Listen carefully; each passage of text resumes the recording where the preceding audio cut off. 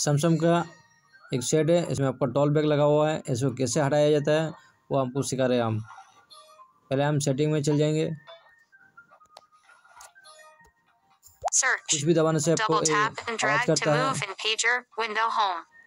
इसको कैसे हटाया जाता है हम आपको सिखा रहे हैं। पहले तो इसका हम सेटिंग में चल जाएँगे। New continuous reading controls. New, okay.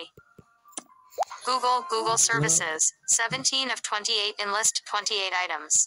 दोनों उनसे प्रेस करना है प्रेस करने के बाद सेटिंग खुल गया है। Digital wellbeing and parental controls screen time app timers 1 2 3 4 5 6 storage memory device protection अब डिजिटल स्क्रीन आपको आपका सो कर कॉल बैक टॉल बैक है आपको एसिडिटी में खोल लेना है। Accessibility top back mono audio है देखिए पहला नंबर में आपको है double double tap and hold to long press.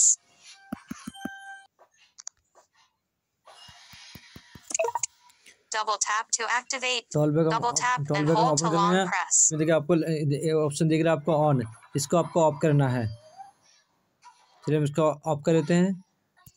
Talk back turn off talk back turn आपको आ रहा टेंशन नहीं करना आपको टॉल बैक ऑन है इसको आपको नीचे आप दिख रहा है आपको देखिए टर्न ऑफ़ इसको आपको ऑफ़ करना है।